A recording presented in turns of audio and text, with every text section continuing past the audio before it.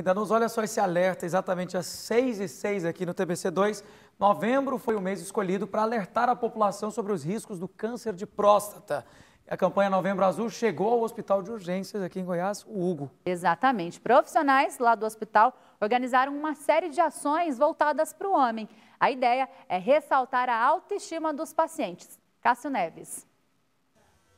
A campanha é marcada por ações que visam despertar maior atenção dos homens para os cuidados com a saúde, em especial na busca pelo combate ao câncer de próstata. No momento que a psicóloga, no grupo, durante o projeto Fortalecer em Loco, ela está trazendo o tema do Novembro Azul, que é o autocuidado masculino, até se o homem conhece, se o homem sabe.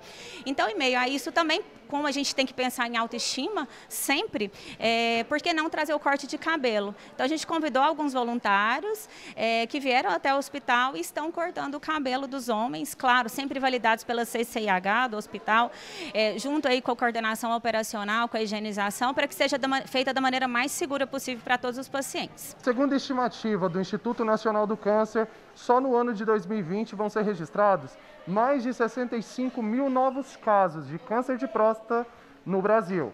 O diagnóstico precoce é importante no combate à doença, mas o preconceito dos homens em relação ao exame ainda é grande. Existe um preconceito ou desconhecimento em relação à realização do exame periódico, principalmente acima dos 50 anos.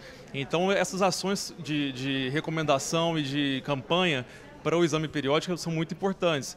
Hoje em dia, é, a cada 10 pacientes que têm câncer de próstata, 6 têm mais de, de 65 anos. Então, são ações como essa que tornam o problema é, menos, uh, menos problemático, né, mais, mais comum e levam o, o, os homens e os pacientes a procurarem o diagnóstico precoce. Para os pacientes que estão internados, receber os cuidados é muito importante. É muito gratificante, né? Isso é um bem-estar para o paciente. Melhora para a gente, né? Que dá uma melhorada na autoestima que está aqui internado, né?